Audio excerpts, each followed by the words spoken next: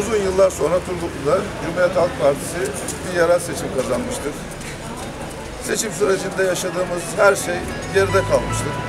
Bundan sonra birlikte Turgutlu halkının karar verdiği gibi birlikte bir yönetim anlayışıyla hak, hukuk, adalet çerçevesinde Turgut'ta yeni bir yönetim anlayışı sergileyeceğiz. Bu sürecin Turgutlu'muza hayırlı olmasını, ülkemize hayırlı olmasını diliyorum. Hepinize teşekkür ediyorum. Yarın saat 2'de e, Turgutlu Belediyesi'nde devir töreni yapılacaktır. Bütün halkımız davetlidir.